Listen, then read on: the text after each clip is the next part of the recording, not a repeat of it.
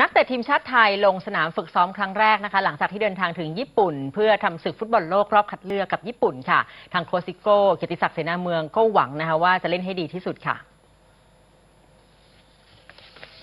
นาเมืองหัวหน้าผู้ฝึกสอนฟุตบอลทีมชาติไทยนำลูกทีมลงฝึกซ้อมอย่างเป็นทางการครั้งแรก ที่สนาม NACK5ในเมืองไซตามะประเทศญี่ปุ่น หลังเดินทางถึงเมื่อวานนี้ เพื่อลงแข่งขันฟุตบอลโลกรอบคัดเลือกโซนเอเชียรอบที่ 3 กลุ่ม B นัดที่ 7 กับทีมชาติญี่ปุ่น ในวันที่ 28 มีนาคมนี้ในเวลา 17นาฬิกา35 นาทีสำหรับการฝึกซ้อมเริ่มจากการฟื้นฟูร่างกาย ก่อนเน้นในเรื่องเทคนิคทั้งเกมรุกและเกมรับ รวมทั้งวางระบบการเล่นท่ามกลางอุณหภูมิ 12 องศาเซลเซียส หลังการฝึกซ้อมโคเซโก้เปิดเผยว่า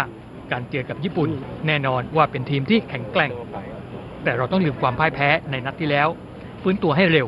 และต้องปรับตัวให้ได้ รวมทั้งต้องปรับตัวในเรื่องของสภาพอากาศ แต่หากได้ลงฝึกซ้อมออกเหงื่อ ร่างกายก็จะอบอุ่นขึ้น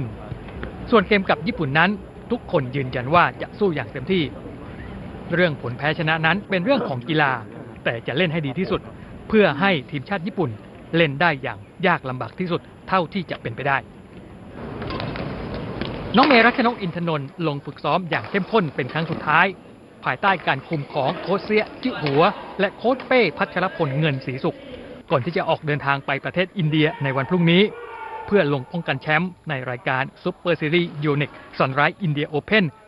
2017 ระหว่างวันที่ 28 มีนาคมถึง 2 เมษายนนี้ ที่น้องเมย์เป็นแชมป์เก่า โดยน้องเมย์ระบุว่า ในขณะนี้สภาพร่างกายและจิตใจพร้อมแข่งขัน เพราะลงซ้อมมาอย่างต่อเนื่อง นับตั้งแต่กลับมาจากคว้ารองแชมป์ออกอิงแลนด์ แต่ยังมีอาการบาดเจ็บที่หัวเข่าเล็กน้อย แม้จะเป็นแชมป์เก่า แต่ก็ไม่ได้กดดัน จะมีสมาธิไปทีละเกม และจะทำหน้าที่ให้ดีที่สุด ตั้งแต่รอบแรกเลยคือเราประมาทผู้ต่อสู้ไม่ได้ แต่ว่าก็คือต้องเล่นเล่นให้ปิดเกมให้เร็วที่สุดเพื่อไม่ให้แบบสภาพร่างกายเราต้องใช้มากเกินไปอะไรอย่างเงี้ยค่ะคือถ้าจบแล้ว